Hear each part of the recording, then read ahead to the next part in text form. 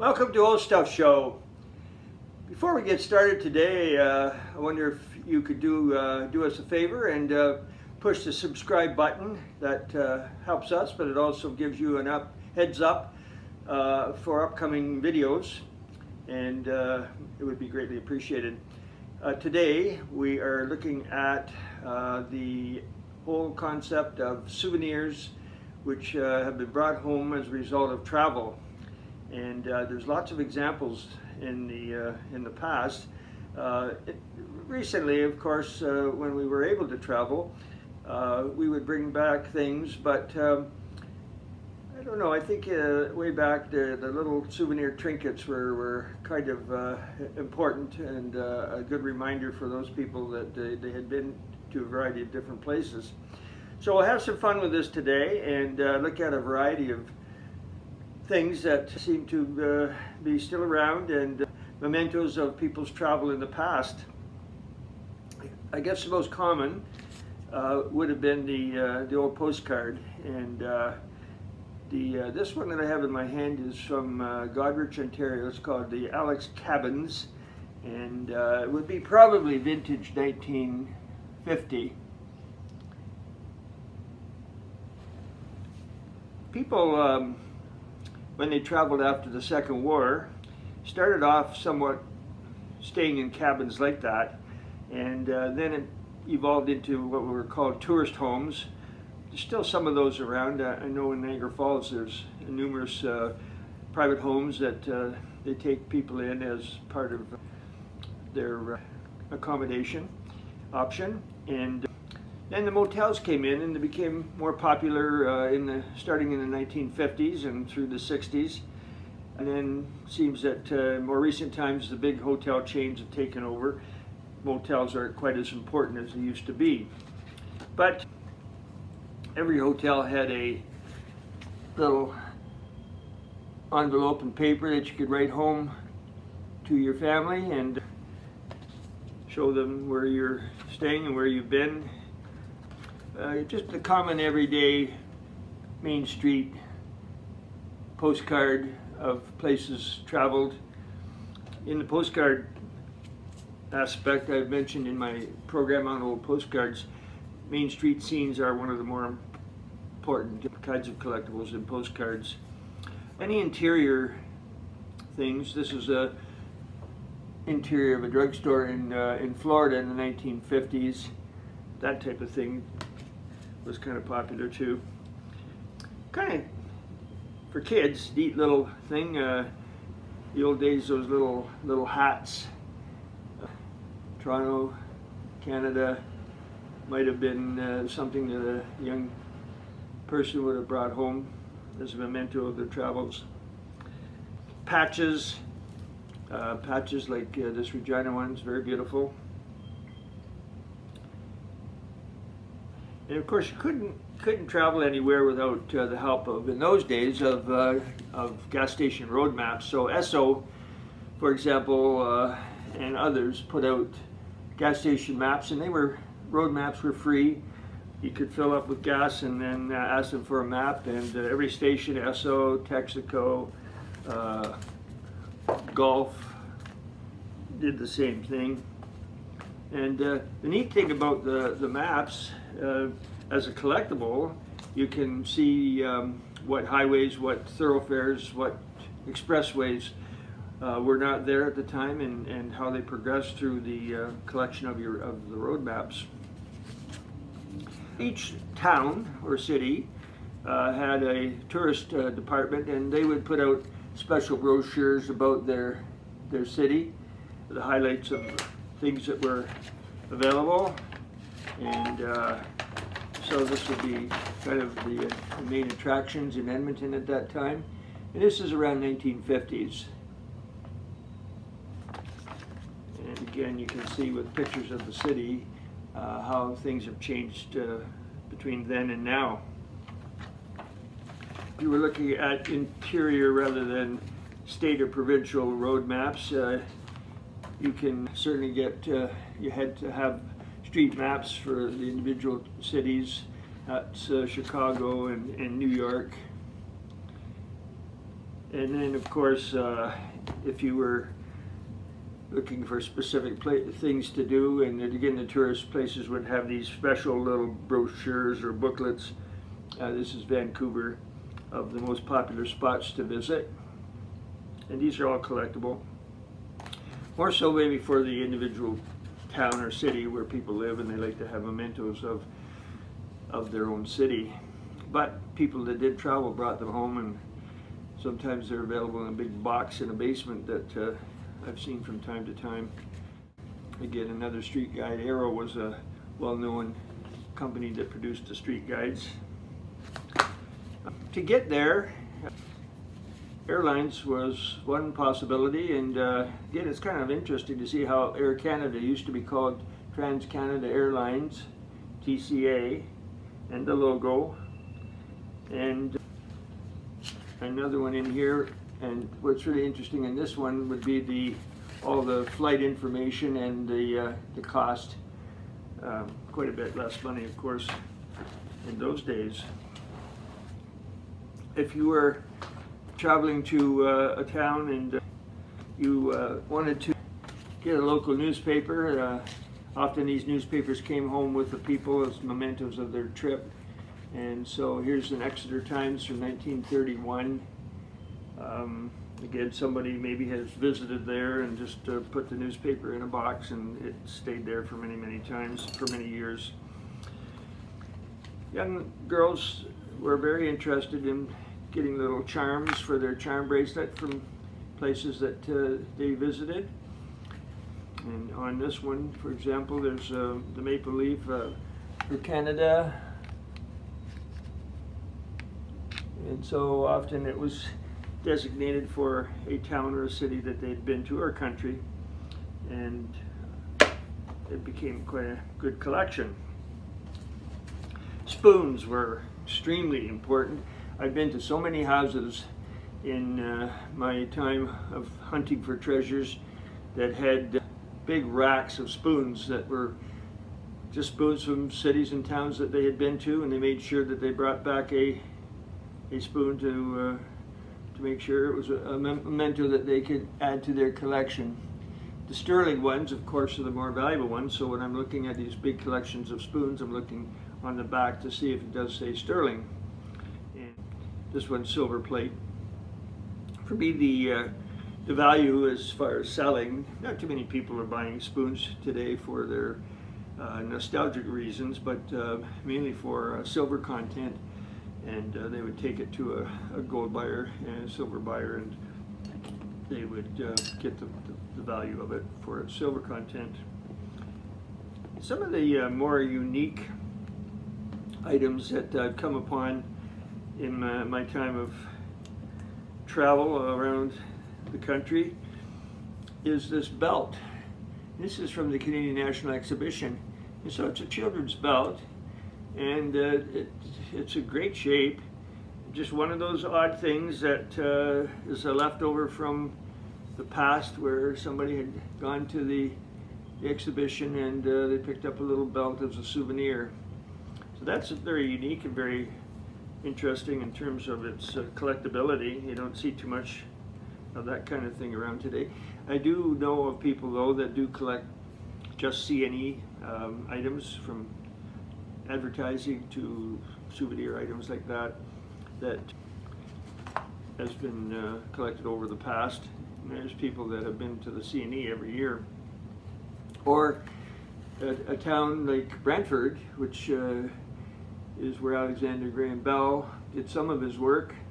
This one is um, a little package of a telephone and uh, a pen, birthplace of the telephone, and uh, cost originally 350 just celebrating the anniversary of uh, the Bell Centennial, 1874 to 1974. So that's kind of unusual and interesting. And you get into all kinds of these uh, ceramic uh, souvenirs. So this one is kind of interesting. This is from, uh, this is uh, Cochrane, Ontario, and it's a little bell. And it says RCMP, Cochrane, Ontario, with a buffalo on top. It's quite quite unique. This one is uh, what the Detroit, Michigan skyline.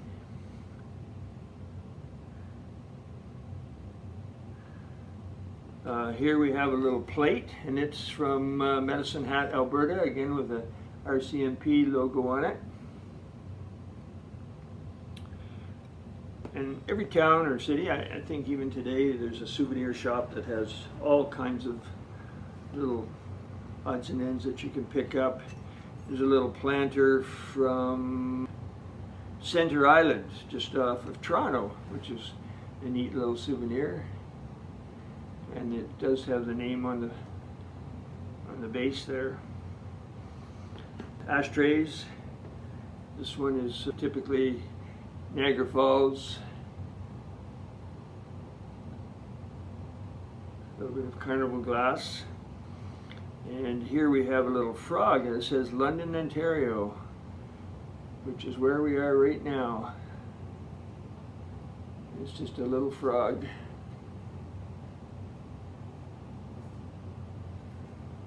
Uh, this is kind of an unusual one. This is from a, an ocean liner, and uh, it's uh, called uh, New York Grace Lines. And I don't know what it was used for. That's the problem. But it's a little, quite old. It has uh, thing that comes out, some holes on the top. This goes back in, and there's a little lid for it and it's marked Grace Line. Now it might have been a local line that toured, toured outside the city, or it might have gone to other distant places. I, I don't know much about it. But that was somebody's souvenir that was brought back from a memento of their travel. Maybe the most common souvenirs would be the, the pennants I know in the 50s there were all kinds of kids that had pennants on their bedroom walls from places that they had traveled to. And they come, they came in all sizes. I've got quite a large collection here, which I actually am selling on eBay, many of them at the moment, but from all over. Uh, this would be about a 12 inch uh, type of pennant, Minnesota, souvenir Minnesota and it's uh, felt. And felt pennants are most desirable. This, most of these are felt that I'm showing you. They're uh, generally from the 50s and more valuable than the uh, you know the synthetic material of later on. Uh, so wherever you went, Windsor, Minneapolis, Penticton, BC. Now the thing too about, you see the headdress there, about these uh, pennants, society was a little different in those day in those days, so it was not uh, you know a bad thing to have native headdress on there. So there's lots of examples of that kind of thing, but also just uh, you know simple things like the bridges, like Seattle, Washington there, and the Golden Gate Bridge, of course, in San Francisco. You could have a little memento with a pennant or geographic locations. This is uh, Wisconsin, Del Dells. Here's a rock of the uh, in the area there. Toronto, this is a neat one because each of the uh, numbers is a separate little felt piece. And that's a little more dressed up. But if you were in Detroit and you went to a baseball game, getting a pennant and even having a team picture on it would be amazing uh, for the young person at the time. Well, today these are highly collectible.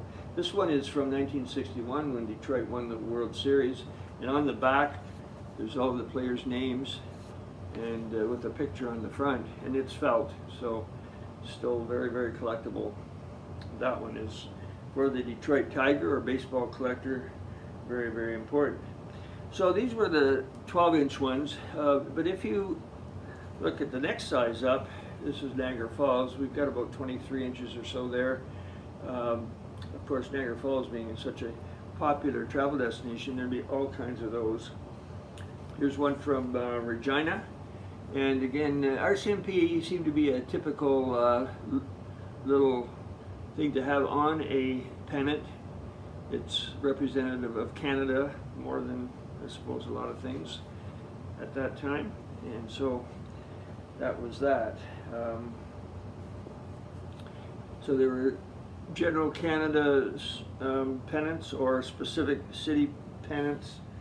Um, but if you then get into the giant king size ones, this is huge. This is, this is about 30 some inches. This is a Calgary one. It's felt and very large. Someone bought that when they traveled. This is really neat. It's got the uh, Union Jack and the Calgary, the Alberta flag. So um, this one would be quite a nice uh, piece for some collector, for, for either from Calgary or uh, pennant collector.